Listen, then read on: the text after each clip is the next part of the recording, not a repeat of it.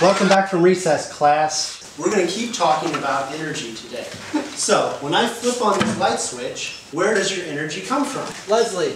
The wind. Yes. Jennifer. Coal. Yes. Michael. Dams. That's exactly right. Brad. Nuclear plants. That's right. Jessica. The sun. Yes, solar power. Claire. My house. Okay, okay, class, class. Claire, houses don't make energy, they take energy. How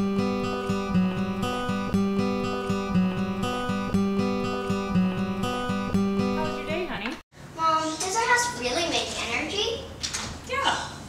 Let me explain. Pretend this water is energy from the power plant.